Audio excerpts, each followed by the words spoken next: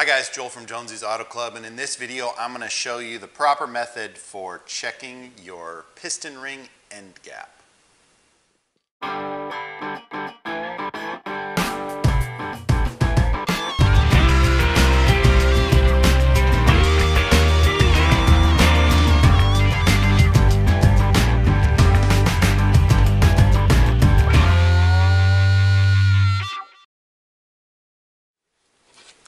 Okay guys, I'm going to show you how to uh, how to check and verify your ring gap. So um, I'm going to take the uh, top compression ring, set it down into our bore, slide it around like that,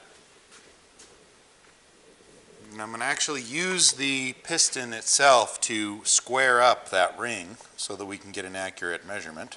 So I'll slide it down in there like so, and that make sure that that piston is, or that ring is completely squared up in there.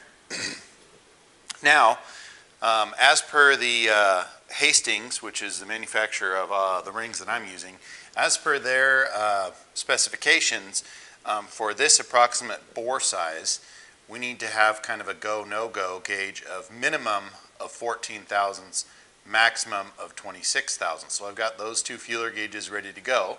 So I'm just going to uh, make sure that the 14 thousandths feeler gauge fits in our gap, which it does, and make sure that the 26 thousandths does not fit in the gap, which it doesn't. So that means that our ring gap is correct as per the Hastings manufacturer. Now, a little trick in how to measure whether or not you have too much taper in the bore itself is to actually physically measure the ring gap of what you have at various spots inside the cylinder bore. So if you measured at the bottom where in theory there's the least amount of wear, and you compare the difference between the ring gap on the bottom to the ring gap on the top where there's the most amount of wear, then you can determine how much taper you have. Now Hastings says that you should never have any more than three thousandths of an inch of taper for one inch of bore.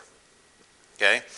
Never ever to exceed more than 12 thousandths of an inch. So if you have a four inch bore, three thousandths, that's 12 thousandths of taper.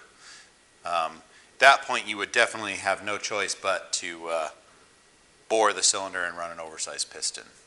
So we can